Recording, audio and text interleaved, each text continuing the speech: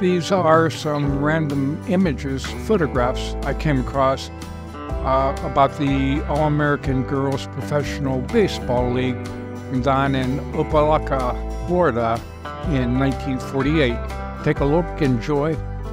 Thank you.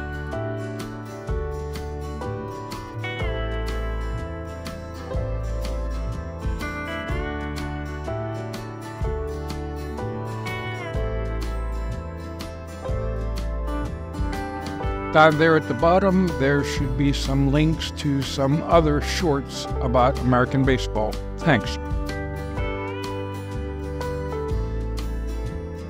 Don't forget to like, share, subscribe. We have a lot coming up over the next couple weeks, and leave me a comment. Thanks.